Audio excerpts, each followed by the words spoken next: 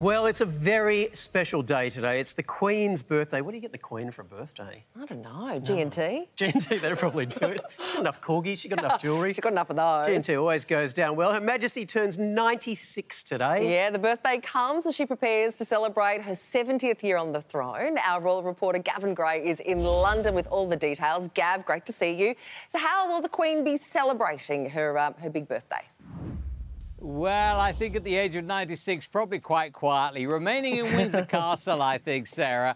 Uh, she's uh, not known for particularly wanting to celebrate such big, outstanding figures. So a quiet day, uh, I dare say, with family members popping around, but no big celebrations planned. It is, of course, the big celebration, though, in early June, when we all hope she will be much more mobile for her Platinum Jubilee celebrations, which take part in that official sort of four-day event uh, Uh, around the world, around the Commonwealth at that time. But a quiet birthday, I think, for Her Majesty today. Yeah, and to celebrate the Queen's birthday today, a new film is being released called Elizabeth, a Portrait in Parts. Gavin, you've seen it. What do you think? Well, I have to say, Stevie, when I first saw it, it was over an hour and a half long with no commentary. In other words, it just uses natural sound on the film archive uh, and a very good soundtrack, actually, as well. Uh, I thought, oh, this is going to be difficult to sustain for an hour and a half, but I have to say it's a really good watch. Part of that is because it's very cleverly cut together. There is a massive juxtapose between uh, some royal footage and then something else. So let me give you an example. It talks about the Horribilis that the uh, the Queen famously said she had. The children, her children were divorcing. Windsor Castle, there was a fire.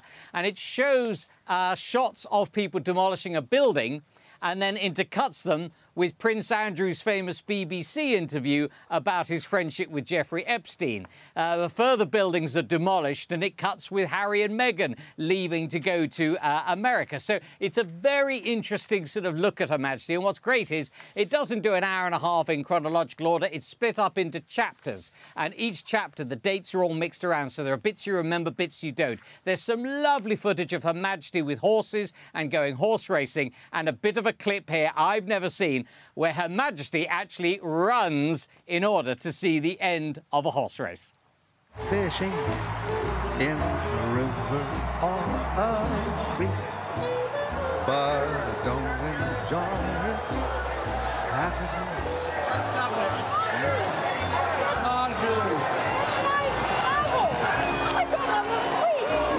Many congratulations. What do I get? Well, you get 16 pounds. 16 pounds? 16 pounds. Winning. she even runs in a graceful way, doesn't she? Um, who's behind the film, Gav? So the director uh, was Roger Michell. Now, he was a, uh, a, British director, famous for Four Weddings and a Funeral, but sadly has passed away since uh, the film was completed. He was in his mid-60s only. Isn't it ironic? A film to celebrate, and it is an affectionate look back at Her Majesty's career uh, and Her Majesty's uh, reign. Uh, and, you know, at the age of 96, possibly one of the last big films made in her time, and yet here it is, the director that she has outlived of this film. So, as I said, being released uh, in Australia today, and uh, really, if you if you like the Royals, you like a bit of fun, but it's nicely done, then this I think is a, is a nice watch. And Gavin, some unseen photos have been revealed of Prince William and Kate's latest trip to the Caribbean. Where are these from?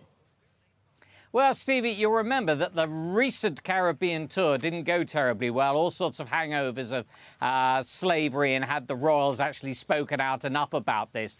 Uh, and of course, the Royals were followed around by a press pack. But William and Kate were also followed around by Matt Porteous. Now, he's a friend of theirs and he is a photographer. Now, he was their personal photographer on the trip. In other words, they paid for him to go out there. It wasn't covered by the, the taxpayer's purse as a result. And he's uh, put a few of these uh, stills that we haven't seen before out into the public domain. And they're really interesting. One of my favourites is a great shot which actually shows uh, Prince William and Kate uh, about to descend the private aircraft for the first day of their tour.